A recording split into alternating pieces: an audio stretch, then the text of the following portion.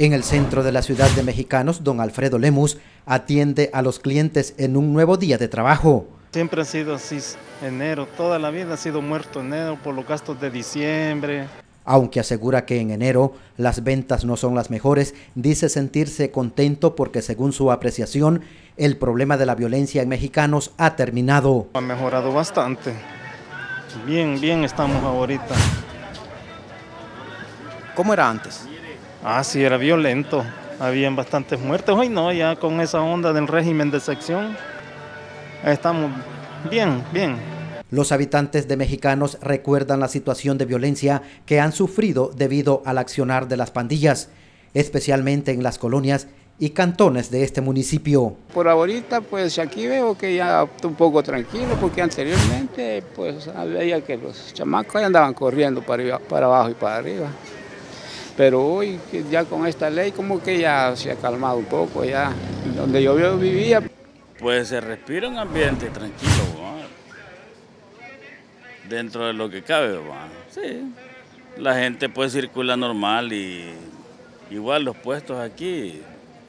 No, no, nosotros aquí por lo menos no hemos tenido ningún problema anteriormente menos ahora. Del centro de la ciudad tomamos la calle que lleva hacia la colonia Montreal en el último rincón al norte de Mexicanos y una de las más violentas en momentos de mayor criminalidad. En una de las aceras, doña Antonia Ayala, con más de 70 años encima, relata que ha salido a disfrutar los nuevos tiempos. Vivimos un tiempo de que no se podía ni salir así a por la cosa de que el cambio de la vida, no sé si la vida o, las personas cambian. ¿Y ahora cómo es? Ahora estamos viviendo otra vez tranquilidad y esperamos que esto dure mucho.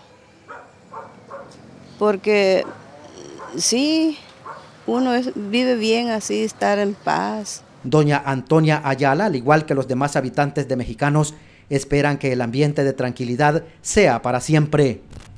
Sin duda alguna, la respuesta de los habitantes de estas colonias es casi unánime cuando se les pregunta sobre las condiciones de seguridad en que ahora viven. Colonias como la Montreal de Mexicanos, que en tiempos pasados enfrentaron altos niveles de criminalidad. Porfirio Mercado, Telenoticias 21.